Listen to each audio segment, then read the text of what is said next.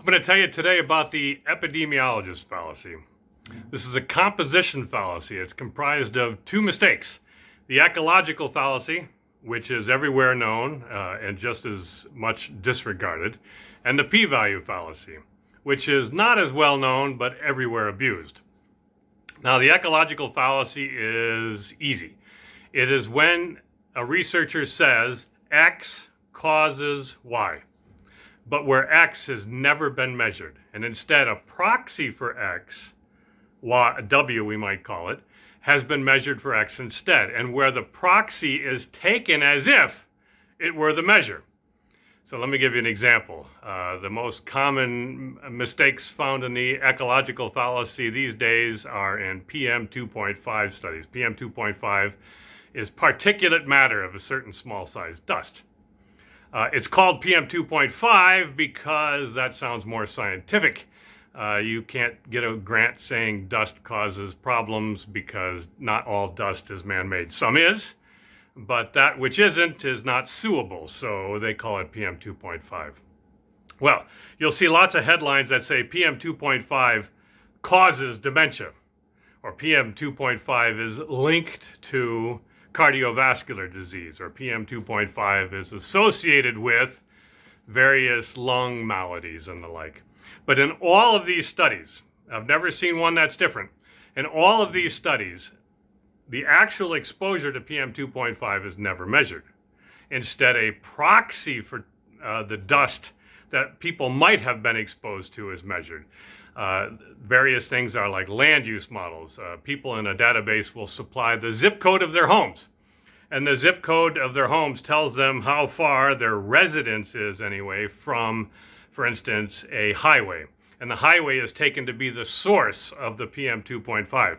Or it doesn't have to be a highway, it can be a uh, power plant, a coal fired power plant, or the like. Anything. Anything that is a proxy for uh, actual exposure. But of course, distance from a highway is a crude, an extraordinarily crude and error-prone measure of someone's actual dust exposure because you don't spend all day at home. Uh, most of the time you're going to be spending indoors, not outdoors, and the home has various filter filtering capacities and so forth. And some of the time you're on vacation, you're not anywhere near the source, and all these kinds of things. So the certainty in the measurement that they have in these land use models or other ways of approximating the proxy of the actual exposure is taken as the certainty that we have in the actual exposure.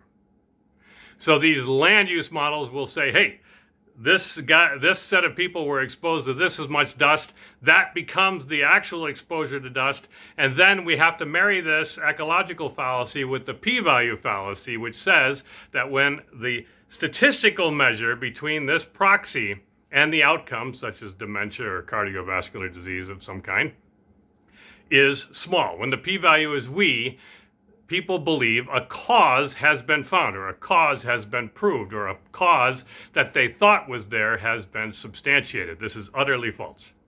A p-value is a terrible, absolute abysmal measure. Every use I say, and I can prove this, of a p-value is a mistake or a fallacy in and of itself. A p-value gives you the probability of something that did not happen, and it's taken for the probability of something that will or could happen. This is a category mistake, very well known itself among statisticians, but everywhere abused.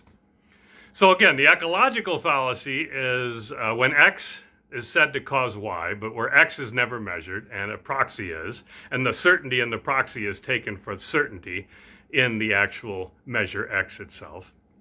And the epidemiologist fallacy takes that ecological fallacy, supplies it with a uh, statistical model of some kind, and out pops a wee p-value, and cause has been claimed. Now, the researchers are very careful about this in their articles, not to use the word cause itself in their direct methods. They'll instead say linked to, or associated with, or statistically significant. But cause is what they mean. They all believe it's cause, and they and certainly by the time it gets down to a newspaper, cause is definite. And so the question is, how can you spot an ecological or epidemiologist fallacy when you see a headline? And you can't. There's no way for you as a civilian to take a look at a newspaper headline and discern whether or not you have been exposed to the epidemiologist fallacy. It just can't be done. Uh, newspaper reports at best are misleading, and at worst, they're deliberately obfuscating. And that accounts for much of today's media. So the only thing you can do is to go back to the original paper and read it and see whether or not the epidemiologist fallacy has been used. As I say, uh, in every paper I've seen so far about PM 2.5, I'm willing to be corrected, has used this fallacy. And I'm going to show you a link, I'm going to show you a little picture if I learn how to uh, edit these videos of what I call the double epidemiologist fallacy. This was a paper that was the rage uh, just a little bit ago. The double epidemiologist fallacy says that X causes Y, where we haven't measured X, instead a proxy for X is used instead. But we also haven't measured Y. Y is not measured, and instead a proxy is taken for Y. And so we have the idea that X causes Y, that PM2.5 causes dementia, but we haven't measured PM2.5, and we haven't measured dementia, not on individuals. Uh, the, the most common way that this is done is to take county level or state level or even country level data and believe it applies to the individuals, all individuals, or all individuals on average who live in a county. And this is absurd. It's just absurd. And so, why do people do this? They know of the ecological fallacy, and the p value fallacy is less well known, but uh, they did learn back in Statistics 101 that p values cannot discern cause and that p values have nothing to do with what they want. They want the probability of dementia given exposure to PM 2.5. They don't get it, they get something else. That's entirely wacky, and I'm not going to tell you. You can read about it in the links below about what a p value really tells you. So, why do people do this? Well, the epidemiologist fallacy is extraordinarily fecund of generating research.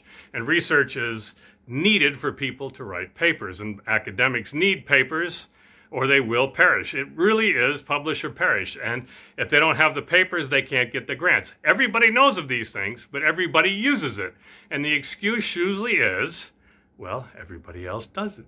So why can't we? It's usually, it's usual practice. It's common practice.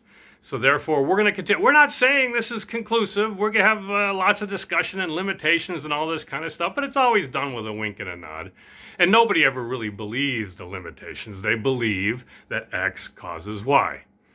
Uh, that's it for now. Uh, next time, maybe we'll do a p-value uh, video itself or some other fun fallacy that you find in research. Thanks for watching.